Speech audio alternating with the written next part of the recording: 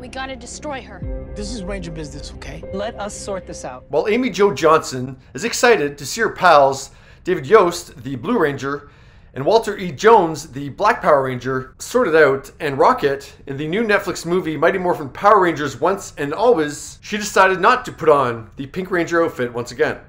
Morphin time!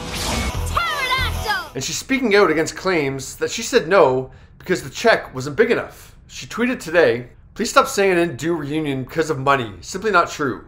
Maybe I just didn't want to wear spandex in my 50s, or couldn't go to New Zealand for a month, or none of your beeswax. JDF and I both chose not to for our own reasons. They filmed before he passed. So she's talking about Jason David Frank, who played the Green Power Ranger, who passed away in November, but before his death, he said he was done with the franchise. I don't want to cover my tattoos. I'm 49 years old. I've done enough for the Power Ranger brand. I love it.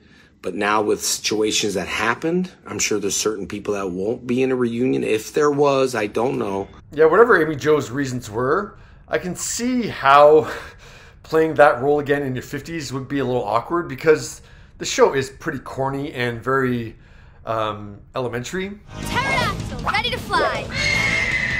The new movie does have Catherine Sutherland, who replaced Amy Jo in season three of the original series. But to be honest, it seems kind of odd that Netflix went ahead with this 30th anniversary reunion movie when so few of the original cast members are involved. Jason and Amy said no. Austin St. John, the Red Ranger, was busy facing federal charges. And sadly, Thuy Trang passed away in 2001 in the car accident, and the Yellow Ranger's death is the catalyst for the new movie. It's time for revenge!